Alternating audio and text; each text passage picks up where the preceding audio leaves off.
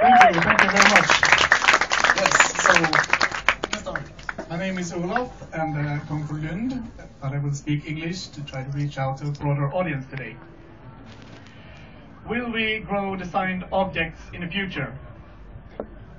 To answer this question, in my project, I broke it down into three parts. I wanted to look at the future, uh, 30 years ahead. I want to look the society, how will we live and what will we demand? And uh, also want to look at the production of the future. Then I want to see how that will affect uh, industrial design, since I'm going to be an industrial designer working with this. And as a third part, uh, I want to try to be a designer as a future designer and run a project. And here I choose to uh, design a very everyday object that I think will be around. I designed a salt and pepper shaker that you will have on a table. But I started with the future science and uh, I started to follow a lot of trends. I picked up 103 microtrends and to try to see the potential of them. And I also looked at a young generation, people born in the 90s that will create our future that we all will live in. From this, I could create four possible future scenarios from which I choose one. Uh, I call it repair and protect. And I foresee um, a stronger relationship uh, between the owner and the object. Uh, and I think uh, that's why you're gonna repair and take care of your objects longer. And I think uh, unique products will be uh, something for the future. And uh, that's why when you're gonna take more care and I also foresee a cooperation between man and nature. I think that we will live together rather than benefit from the nature only. So I started with uh, form giving and uh, started to grow stuff. And I started on a very basic level, started with mold. This is for my desktop. It's uh, bread going bad, trying to direct how the mold is growing inside the jars. But uh, then advanced to uh, more interesting experiments at Karolinska Institute here in Stockholm. And here I am at the microbiology lab because I saw a very strong potential in this uh, bacteria trend. And that is bacteria that build up a material that we call biofilm. So on the picture here you can see uh, biofilm that uh, the bacteria has created. And I went to Karolinska back and forth to study this and study how uh, it looked, how we can use it, and uh, how it will, how it grew. So I was also taking pictures of the growth process, putting together in a time-lapse movie. So here I had uh, interesting material to work with. Uh, and then I wanted to see how this would affect the industrial design, or me as a designer, how I will work with this in the future.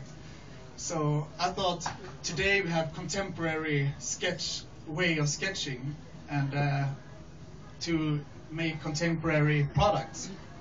And I was thinking we need new ways of sketching to make new products from new materials.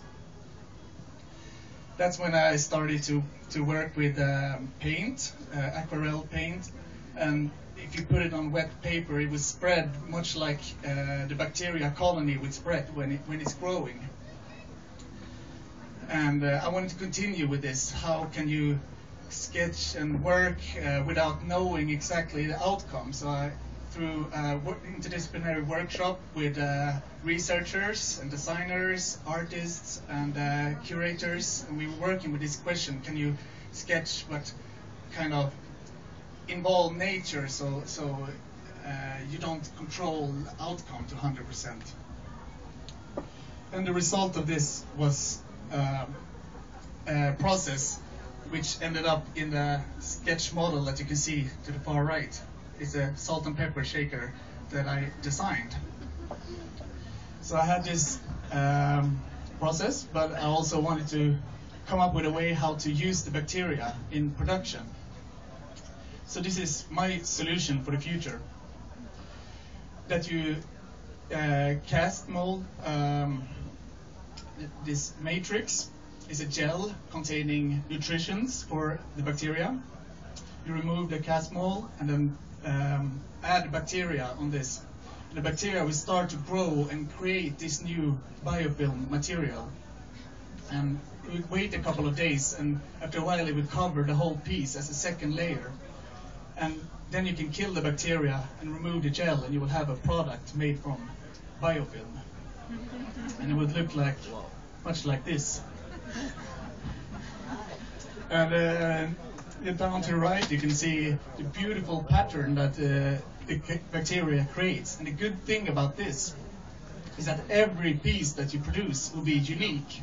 So you know that you're the only one that have this particular look. And this is what it might look like on a dinner table, and I'm hoping for that you will feel for your product and will keep it for longer and you will take care. But even if you break it, you can reactivate the growth process so that it can heal itself and you can have it for even longer. So look out, maybe you will find it on Hammarplast website. It was the main sponsor of the project. So um, they were interesting looking new futures of, of uh, production. And um, this was all I had to say about this project, but uh, keep your eyes open about new projects in design and biotechnology because I really truly believe that this is the future where we're going. Thank you.